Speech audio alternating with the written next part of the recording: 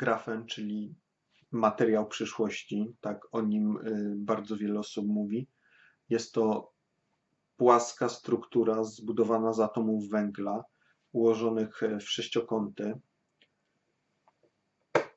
czyli swym wyglądem bardzo przypominająca plaster miodu.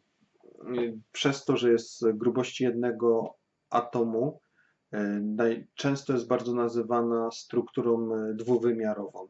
Ale dlaczego grafen jest, e,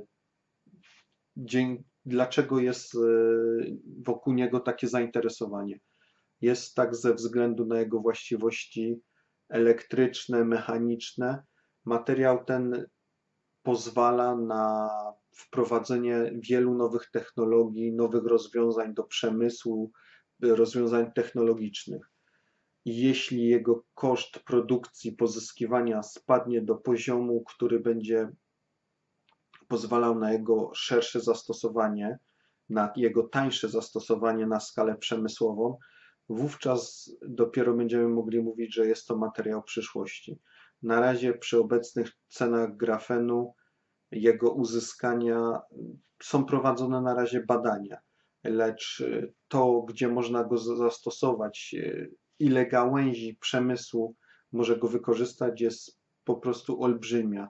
Od elektroniki po elektrykę, y, budowę nawet zwykłych przedmiotów. Dzięki swojej wytrzymałości, y, swoim cechom, swoim zaletom.